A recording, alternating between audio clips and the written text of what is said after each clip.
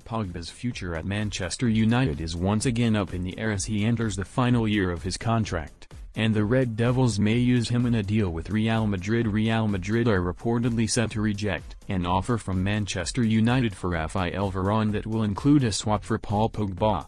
Varane is a top target for the Red Devils this summer, who are looking to provide Harry Maguire with a world-class partner at center, back. 4 time Champions League winner and World Cup champion Varane is expected to cost around £80 million. But with just one year left to run on his contract, United are hoping that they can strike up a deal worth considerably less.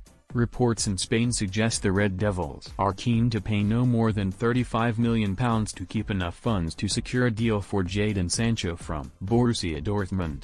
Now though, the Old Trafford board are said to be favouring a swap deal for Varane, with Pogba heading the other way. Pogba, Varane's international team, mate with France, has been strongly linked with a move to Real in recent years, even describing it as him dreaming 2020. As claimed that United are ready to offer the La Liga side a straight swap, Pogba for Varane. Should Man United keep hold of Paul Pogba or sell him this summer?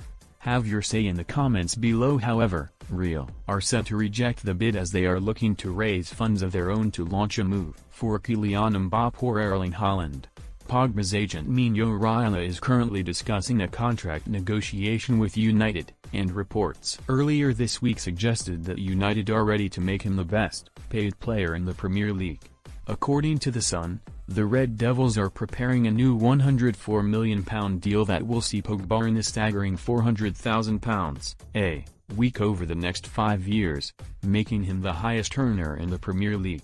Pogba gave an update on his contract situation earlier this month, admitting he was yet to sit down with Ed Woodward and Ole Gunnar Solskjaer to discuss a new deal, and confirmed there was no offer in place yet. I have one year left on my contract, everybody knows it.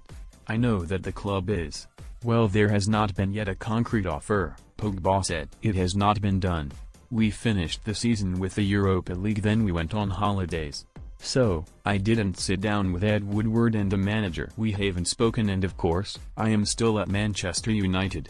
Pogba and Varane are expected to start in Wednesday's final Group F clash at Euro 2020 that will determine who they face in the knockout rounds.